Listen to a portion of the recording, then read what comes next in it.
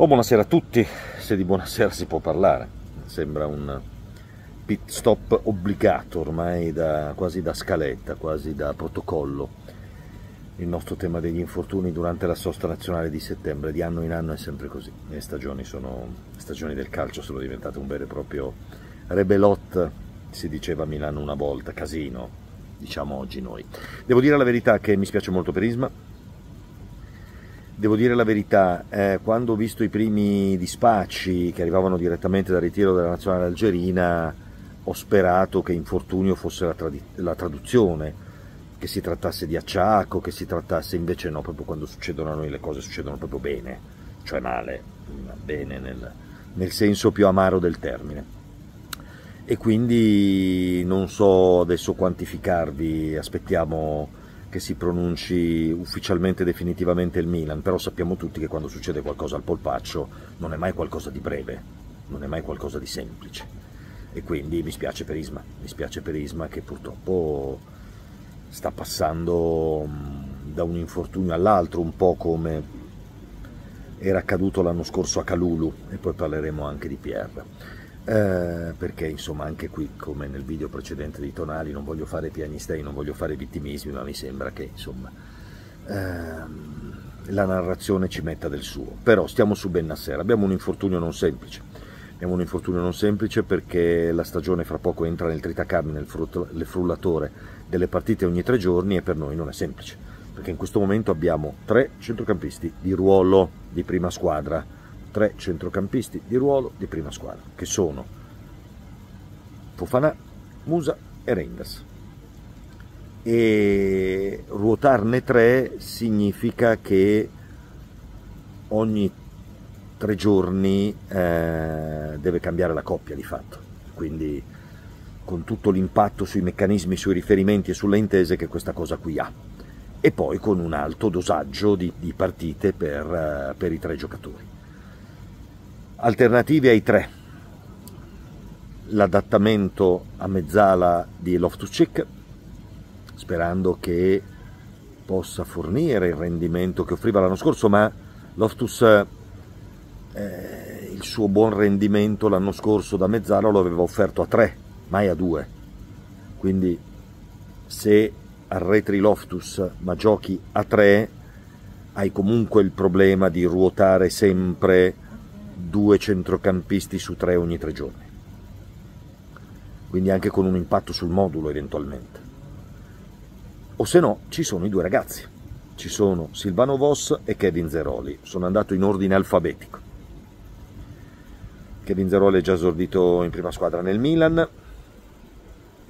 Alla fine della scorsa stagione ha fatto una parte di tournée. Silvano Voss eh, giocava nella prima squadra dell'Ajax la scorsa stagione e eh, dopo il suo esordio con il Milan Futuro a Carpi l'allenatore avversario ha detto questo ragazzo con la Serie C non c'entra niente quindi Voss giocava già nella prima squadra dell'Ajax ha fatto delle partite di Europa League la scorsa stagione Kevin Zeroli ha una si tratta di giovani quindi usare il termine anzianità di servizio rischia di essere un po' eh, forzato come, come concetto. Però ecco la maggiore anzianità di servizio di Kevin Zeroli in casa rossonera c'è anche se insomma a livello di a livello di età e di esperienze siamo lì, è vero che ha fatto l'Europa League con mm, l'Ajax Voss, però Kevin Zeroli ha guidato di fatto la nostra primavera l'anno scorso alla finale europea di categoria, la finale Youth League, la finale Under 19 a livello europeo, la Champions League primavera, la Champions League giovanile, quindi una sua esperienza l'ha maturata anche lui, gioca regolarmente nelle nazionali giovanili, vedremo.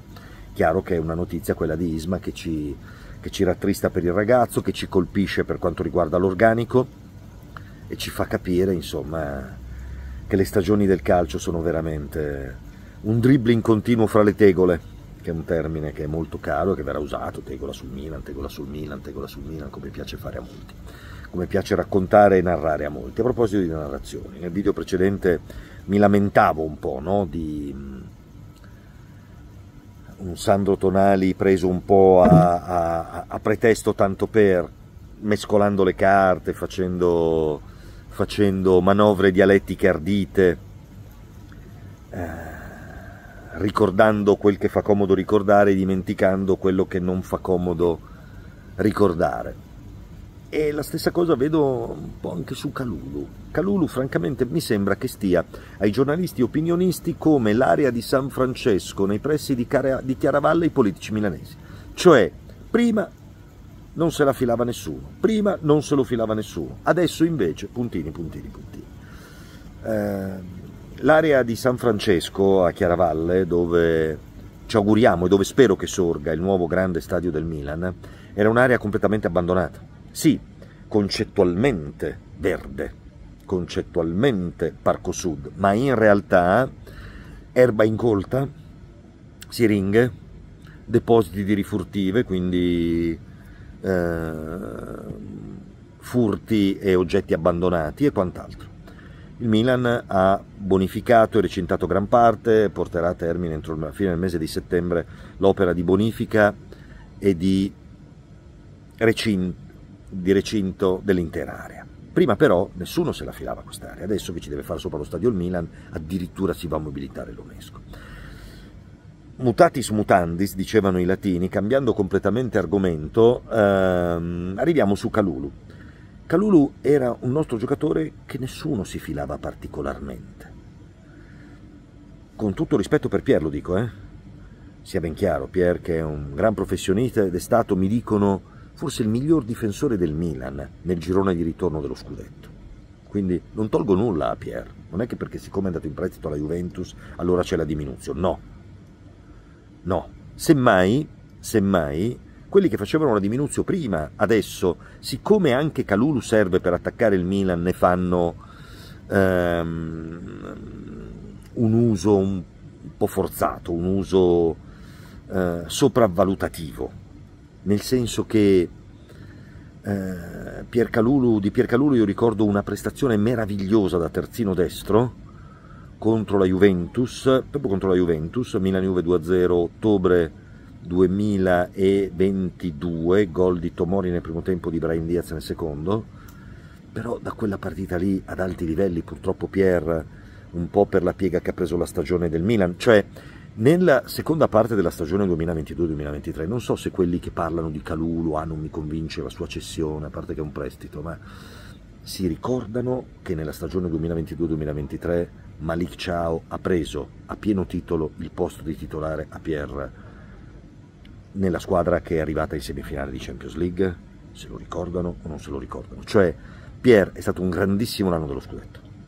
Poi ha avuto alcuni picchi di rendimento, ma il suo 2023 e il suo 2024 sono stati di prestazioni normali e di infortuni. Noi ci auguriamo che Pierre, che Pierre um, ritorni, perché fior di ragazzo, fior di professionista, adotti, però per tornare con continuità ad alto livello fisico, atletico, di intensità, aveva forse bisogno di una svolta. Poi ci sarà questo ritorno, benissimo, lo riscatterà la Juventus, per il Milan un pacchetto da 20 milioni di euro, non lo riscatterà la Juventus, tornerà al Milan temprato e rinvigorito. Però quelli che non se lo filavano nemmeno e che adesso invece lo incensano e lo magnificano, mi sa tanto che usano anche Piercalulo per dare una botta per dare una botta negativa di critica al Milan. Eh? Anche questo è un uso un po' strumentale o no? Sì che lo è. Dai, ciao a tutti, a domani.